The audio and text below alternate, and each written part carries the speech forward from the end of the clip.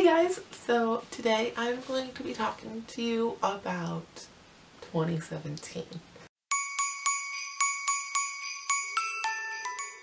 So Christmas is almost here. I'm hoping this video is getting uploaded before Christmas and I feel like after Christmas, like stuff gets, like before Christmas, you know, like you're having fun and you're kind of stressing out, but you're also having fun. And then after Christmas, things get really serious because the new year is right around the corner. And for me, the new year has always been a time where I've kind of gone back and evaluated my life and the things that I need to change and the things that I want to make better and the things that I want to do and then I start to feel bad about like the fact that they haven't happened yet or certain things that I want for my life aren't there. So every year I generally come up with resolutions which you really don't have to wait until January to do anything like this. You can do it all the time. You should actually be doing it all of the time.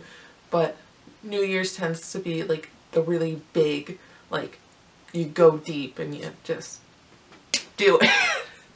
back to the resolution thing. I've made resolutions in the past and I just, I don't think resolutions work. So this year I'm making goals, which I realize are pretty much the exact same thing as resolutions, but I like the word better and I like the concept. Resolutions seems like, when I think resolution, I think complete life change. Goals, I'm focusing on like one point and then like there's this one point and then there's steps to get to that one point and resolution I just feel like it's complete life change. So to plan your goals for 2017 I have a few tips. I have done thorough research on setting goals and achieving goals like consistently through the last nine months. I've pretty much had a goal baby in the last nine months. So I wanted to share some of them with you because I wanted to be helpful. So the first thing that you should do, and my first tip, is to know what your goal is. So you're going to have to sit down, you're going to have to think about this and what it is. And on top of that, once you figure out what your goal is, you're going to have to figure out why you want that, how you're going to feel when you achieve that goal, and how you can feel that way now. Because if you feel that way now, or you start to feel that way, you'll build up and it'll be, it's like motivation to achieve it.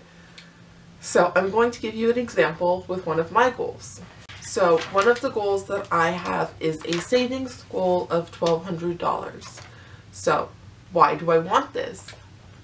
I mean, this was actually one of the harder goals to answer, but I sat down and I thought about why I wanted it. I want to be responsible. I want to be fiscally prepared. I want to feel secure and comfortable with my finances. So I'm going to build savings. It's like, you know, being an adult. It sucks so much being an adult, but you have to do it. And savings is a good way to start. So, how will you feel when you reach it? I said it would make me feel responsible and better prepared and more secure. And then how can I feel that way now by meeting my savings goal every month. By saving every month and sticking to my budget, I will feel those things now and then at the end of the year, so like fast forward to Jan to December 2017, when I have my $1,200, I'll feel even better. The second thing you need to do when you are making your goals is having an action plan. How are you going to achieve that goal? What can you do weekly? What can you do daily? And who can help you achieve it? So plan, don't just have a goal. You have to you have to have an action plan to achieve this goal. What are things that you can be doing that will help you achieve the goal?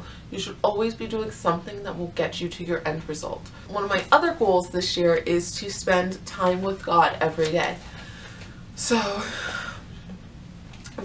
things that I can do to achieve this goal.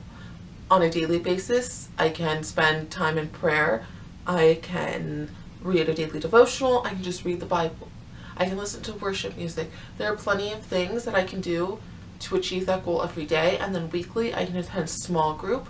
I can attend a church service. I can listen to podcasts. There are a million things that I can do and I definitely have a more detailed action plan than that, but I might do that in another video. Basically, long story short, make your action plan. What's your goal? How are you going to achieve it? Number three, think about your routines and how your goal will fit into them. So it kind of goes along with the spending time with God every day. How will that fit into my routines? Well, in the morning I can wake up and do a devotional. At night I can pray before I go to bed. Those are fitting into my morning and night routines. Another goal of mine for this year is to learn how to watercolor. So that can fit into my routines because I can use watercoloring out of my planner. I've actually sort of started to experiment a little bit with it and I can just have more fun in my planner using watercolor and I can use it as my for my me time every week I can do watercolor instead of I don't know binge watching Once Upon a Time you know these are decisions you have to think about and make and be committed to alright and then my last tip is to make a deadline and set aside a certain time where you will go back and evaluate your progress on the goal and make any changes. You're going to have to be flexible because as you go along, you're going to adapt it. Your life is going to change. You don't know what's going to happen. Maybe the way that you plan on doing your goal today won't be you won't be successful. You might not be successful at it is a better way to say that.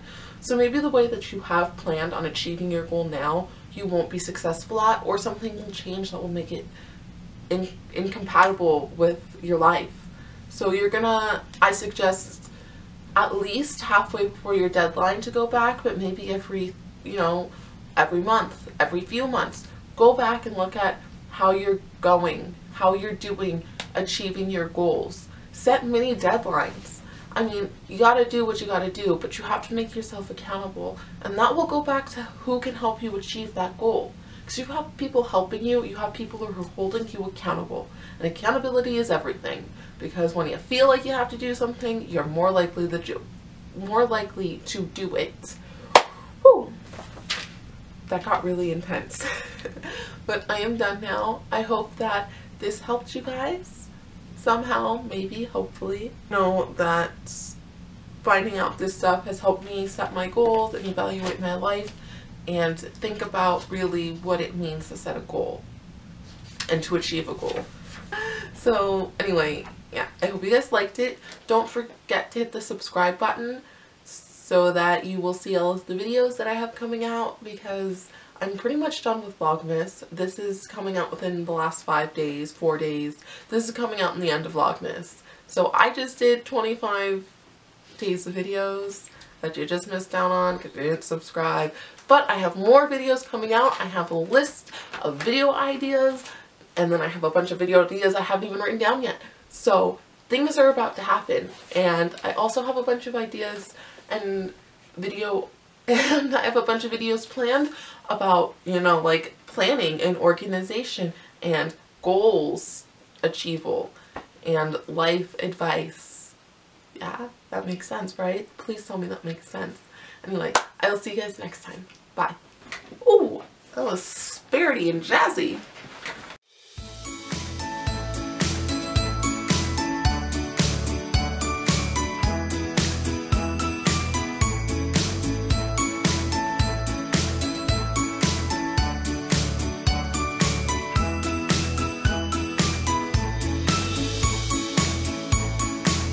So savings, I can make a monthly budget and stick to that budget every day. So don't go off, Rachel, and spend like $6 on a milkshake because I've been known to do that.